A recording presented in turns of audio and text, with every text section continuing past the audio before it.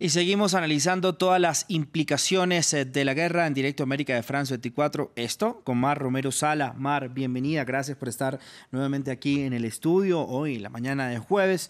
Las guerras y las enfermedades lamentablemente van de la mano, como si fuera poco una tragedia y otra tragedia. Nos preocupa ahora en específico, por supuesto, la situación que se vive en Ucrania, pero no es la primera vez que esto sucede, Mar.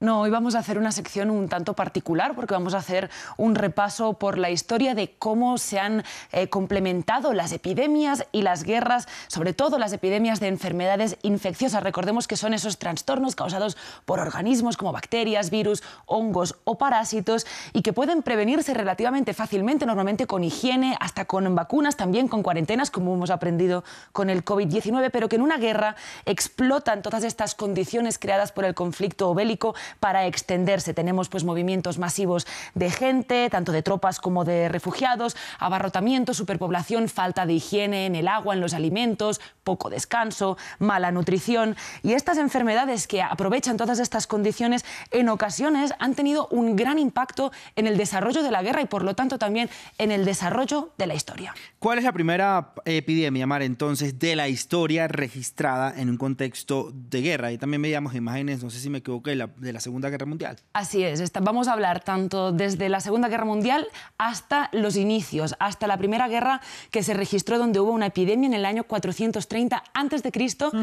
En Atenas y Esparta, en la guerra que hubo entre las dos por el control de Grecia. Fue la primera vez que se empezó a documentar una epidemia en un contexto bélico, en este caso era una ciudad sitiada, eh, donde está además llena de refugiados de pueblos e islas cercanas. Le llamaron plaga o peste, porque todavía no se sabía bien pues, qué tipo de enfermedad era. Los expertos creen que podría haber sido peste bubónica, pero pues ahora se dice que podría haber sido viruela o tifus. Se describían los historiadores de ese momento una situación totalmente pues, desastrosa. Tenían gente en la ciudad con fiebre, dolor de cuello, úlceras, sed insaciable, imposibilidad de comer. Y esto podía terminar hasta en la muerte. De hecho, murió hasta Pericles, que era uno de los estrategas y líderes de la ciudad de Atenas. Hasta 100.000 personas se calcula que podrían haber muerto por esta enfermedad, aproximadamente el 25% de la población, y 30 años después Atenas terminó perdiendo la guerra, en parte pues, por la diezma y la merma que había causado esta enfermedad. Entonces, Mar, siendo así las cosas, ¿cuál podemos considerar que es uno de los ejemplos más devastadores de nuestra historia? Para esto vamos a tener que avanzar varios siglos y hablar del impacto que tuvieron las enfermedades infecciosas en la colonización del continente americano y en el genocidio de sus pueblos originarios. Hasta ahora se creía pues, que mucho se debía a la conquista, a las armas, una mirada un poco eurocéntrica de la historia, pero es que recientemente se ha establecido que entre 1492 y 1600 fallecieron hasta 56 millones de personas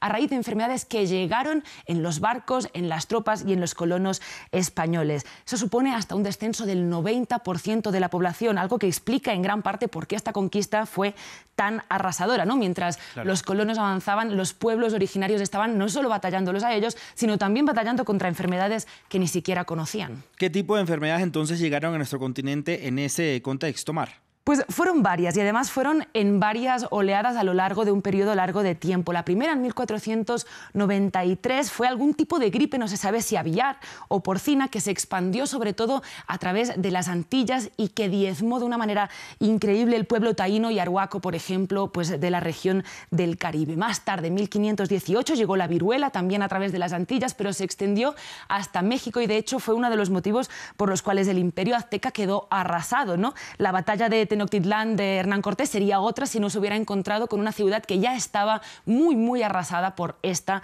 epidemia. Algo, sucedido, algo parecido pasó en 1530 con el sarampión y con el pueblo inca en Perú. Los pueblos nativos no tenían defensas para este tipo de enfermedades que en cambio los pueblos europeos pues, ya conocían de antes. Sin lugar a duda causaron más muertes que las, que las armas y llegaron a cambiar el rumbo y la historia de todo un continente.